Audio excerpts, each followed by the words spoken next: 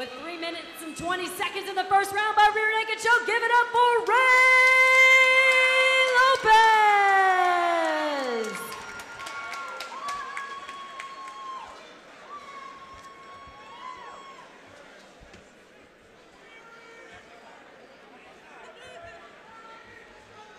They're talking about an after party. This sport, eh? Oh, you. I'm sorry, everybody. But thank you, thank you all for coming. Ray Lopez. Yeah, I'm not a pussy. Ray Lopez hits very hard, and uh, thank you for taking the fight. And everyone, I'm sorry. I did my best.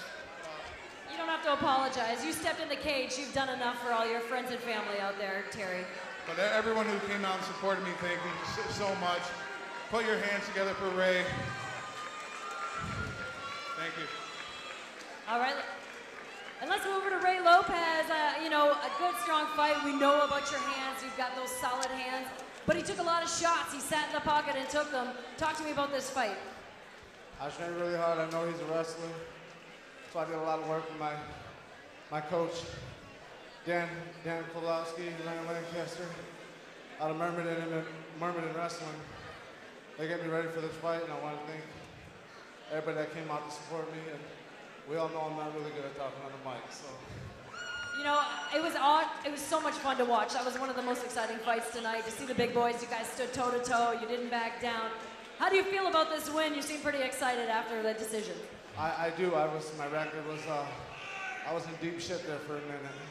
I had like five losses in a row, so yeah. So does this get you back on track, and what does it do for your confidence? It builds it. It builds my confidence a lot, especially because I've never been a good wrestler. Then I did did pretty good, better than I normally would.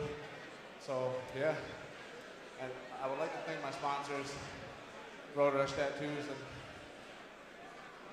All right, congratulations, Ray. We always love watching you in here because we know you're going to put those hands together and do a lot of damage. Congratulations. thank you. And I hope uh, TXC has me back. I'm ready to go to the top. I want the belt. All right, once again, let's give it up for Ray